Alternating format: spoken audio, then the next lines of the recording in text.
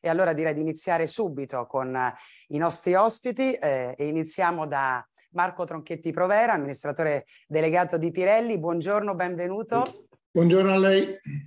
Buongiorno e allora tutti. andiamo subito al dunque, allora, eh, siamo in piena formazione del nuovo eh, governo. Lei circa un anno e mezzo fa, si era da poco insediato il governo Draghi, si disse molto confortato dal fatto che quell'esecutivo fosse formato da tecnici. Eh, l'esecutivo che sarà, stando al Toto Ministri che leggiamo tutti i giorni sui giornali, anche oggi in prima pagina il messaggero parla di tecnici o eh, politici, eh, sarà composto forse solo parzialmente da, eh, da, tecnici e ci sarà, sembra, tanta, eh, tanta politica. Si parla eh, di eh, un tecnico al MEF e agli interni, ma non sono certezze. Allora, in questo scenario, lei cosa si auspica e cosa teme dalla squadra di governo che verrà indipendentemente dai nomi. La stessa Meloni ieri l'ha definito un momento difficilissimo questo che stiamo affrontando.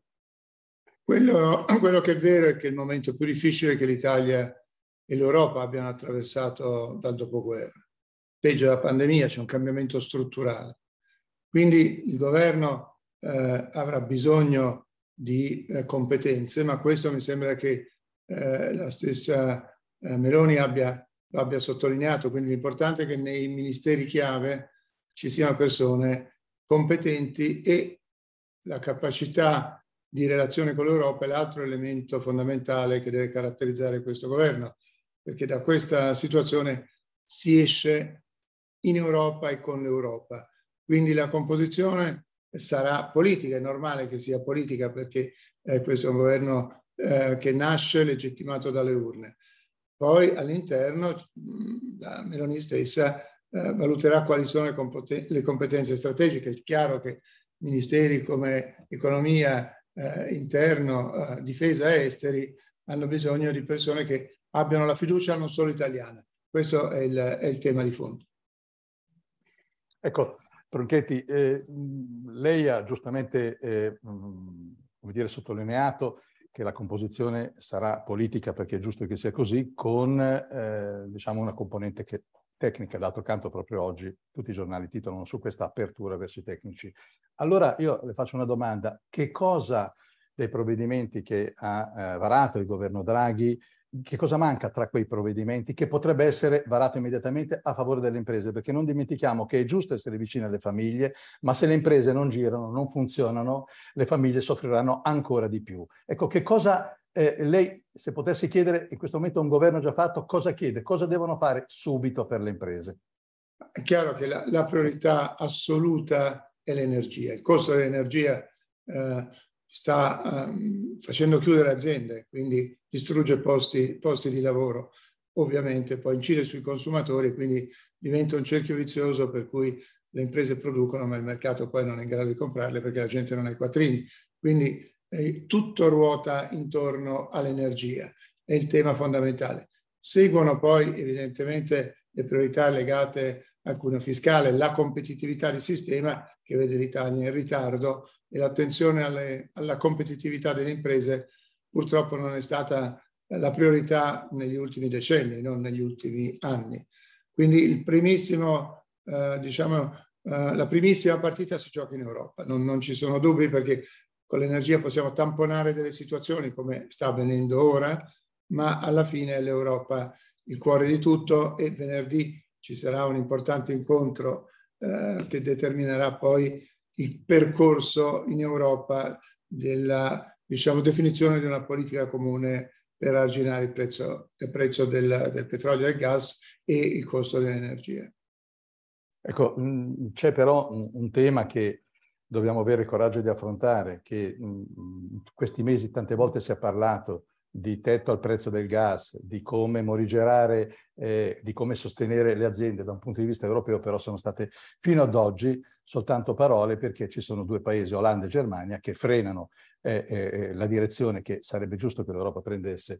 E, quindi fino a quando non avremo una, come dire, un eh, una soluzione chiara che possa davvero dare una botta a questo prezzo e magari consentire all'inflazione di scendere, le aziende dovranno fare da sé. Ora, Pirelli, l'azienda che lei guida da 30 anni, eh, è un'azienda che consuma molta energia, possiamo dire che è energivora.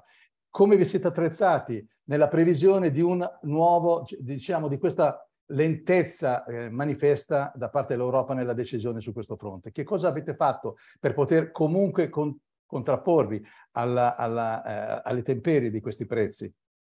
Noi come prima cosa abbiamo garantito la continuità eh, di attività nelle fabbriche, quindi abbiamo creato immediatamente un'alternativa attraverso eh, diesel, gasolio, quindi abbiamo cisterne che sono pronte a affrontare l'emergenza come primissima cosa.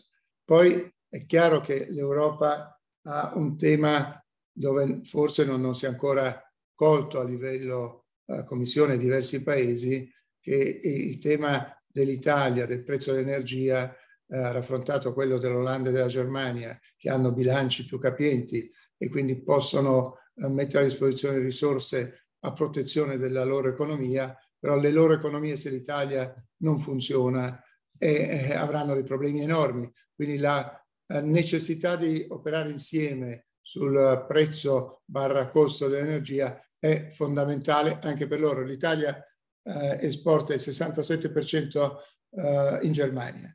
Eh, L'Italia esporta circa 350 miliardi di euro, il 67% va, va in Germania. Allora la Germania, se l'Italia non è competitiva, ha un problema nella sua supply chain.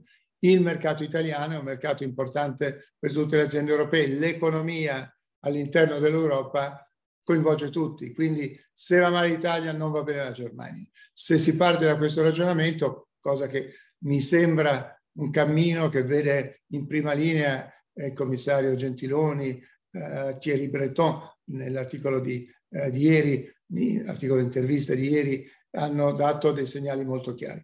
L'Europa esce da tutto questo insieme. Se eh, anche l'Italia non trova un suo percorso, è un guaio per tutti. A proposito di Europa, l'Europa ha varato in questi mesi, dal 24 febbraio, dall'invasione russa in Ucraina, severe importanti sanzioni contro la Russia. L'ultimo pacchetto è proprio di eh, queste ore. Molti sostengono, pur condividendo la eh, decisione, che però l'Europa abbia sottovalutato il cosiddetto effetto boomerang, non preparando poi eh, gli anticorpi, insomma, come rispondere poi alle contromosse di, eh, di Putin. Eh, fino anche a poco fa lei da sempre insiste molto su un punto, questa unità strategica eh, a livello eh, europeo. Allora voglio sapere cosa pensa dell'ultima eh, mossa della, della, Germania, i 200 eh, miliardi messi dal, stanziati dal governo eh, tedesco, una mossa tra l'altro molto fatta anche per l'industria eh, dell'auto che rappresenta insomma una parte importante del PIL tedesco. Se l'Europa non agisce insieme vuol dire che è guidata da persone miopi. L'Europa è una regione del mondo ricca, ha il più alto livello di consumi, la maggiore protezione sociale, non ha materie prime. Quindi la forza dell'Europa è stata in questi decenni di crescere con un costo delle materie prime abbastanza basso. Ora, se noi eh, non troviamo percorsi alternativi o non proteggiamo l'Europa, se si crea una crisi geopolitica con dei fornitori strategici di materie prime, in cui l'energia ovviamente è magna pars, a quel punto l'Europa è destinata alla decadenza, a, a eh, diminuzione di competitività e quindi eh, a impoverirsi. Eh, quello che non è andato bene e su cui bisogna riflettere è proprio l'atteggiamento dell'Europa nel rapporto con l'America, che è il partner strategico con cui noi dobbiamo continuare ad avere un'alleanza, noi intendo tutto l'Occidente però dobbiamo anche garantire la sopravvivenza della gente che abita in Europa, perché se noi ehm, portiamo avanti i nostri valori in modo corretto, ma eh, eh, siamo nelle mani di chi poi dopo, avendo tensioni con noi, ci aumenta i prezzi semplificando, portiamo evidentemente un contributo negativo anche al disegno strategico che si basa sui valori occidentali. Immaginiamo se succedesse qualche cosa in altre regioni del mondo da cui dipendiamo totalmente. Faccio un esempio semplice, eh, la Cina che ha l'80% delle terre rare, Taiwan ha tutta la componente più eh, sofisticata di semiconduttori eh, che rifornisce tutto il mondo. Ecco, se noi entriamo con la stessa logica in tensioni geopolitiche con altre regioni del mondo, l'Europa va in fronte a un impoverimento, a tensioni sociali terribili e avrà evidentemente un prevalere del populismo in una situazione drammatica. Quindi questo è un tema strategico che l'Europa deve affrontare con uno spettro più largo. È chiaro che il consenso è molto difficile da raccogliere in Europa perché eh, gli, i meccanismi decisionali sono complessi. Quindi l'Europa deve cambiare i meccanismi decisionali. Dal suo punto di vista, eh, proprio da grande imprenditore, cosa pensa la citata pochissimo fa eh, al volo della proposta avanzata dai commissari Gentiloni e Breton sul fondo SURE, cioè dal punto di vista proprio delle imprese, questo strumento europeo per combattere la crisi energetica? Ma, eh, il sistema SURE ha permesso in sostanza di finanziare cassa integrazioni, cioè ha dato dei contributi fondamentali. Quindi è uno strumento fondamentale, ma non è l'unico strumento. È uno strumento che, come è successo con Next Generation EU, ha accompagnato altri strumenti. Quindi molto bene, primo passo importante, però abbiamo bisogno di una cosa diversa. Questo, ma soprattutto bisogna che i governi europei siano trasparenti nel dire che se non ne usciamo tutti insieme finiscono male anche loro, perché non è che Germania, Olanda, se l'Italia si trova in drammi eh, economici e sociali, andranno bene, andranno malissimo. Ecco, questo mi sembra che eh, non, non, sia colto e la politica guarda nel, al breve termine e non prende decisioni strategiche giuste. Quindi questa è la complessità di base. Senta, lei continua ad essere pessimista sulla uh, fine della guerra eh, scatenata dalla Russia in Ucraina, eh, che poi è la fonte di tutti i nostri, nostri problemi eh, di, questo, di, questo, periodo, in questo periodo e anche per qualche anno ancora. Eh, continuo ad essere pessimista perché io ho letto alcune dichiarazioni sue che non mi hanno rincuorato. No, io non, non, non ho nessuna ragione, ma credo che nessuno di noi l'abbia per essere ottimista. Eh, c'è un tema di fondo che eh, le uniche voci che si sollevano in direzione della pace nel mantenimento evidentemente di quei valori che ci hanno portato a tutelare eh, eh, l'Ucraina fino ad oggi. Ecco, gli unici che hanno parlato di pace sono stati il Papa, che ha parlato in modo molto concreto e realista, e eh, il Presidente Mattarella, eh, che ha sottolineato eh, la necessità di iniziare questo percorso. La cosa grave è che da Bruxelles e dalle cancellerie non, ta, non stanno arrivando segnali che da un lato devono preservare valori, posizione eh, presa eh, dai paesi europei, dall'altro devono garantire che ci sia un percorso di uscita da questa tragedia. Bene, noi ringraziamo eh, Marco Tronchetti Provera che come sempre sintetico, preciso, diretto, è, un piacere eh, parlare con lei, lei lo sa, ci conosciamo da tanti anni e eh, spero che quanto prima la rivedremo o su questi schermi o sui nostri palchi perché tra poco torneremo a fare i nostri eventi in presenza.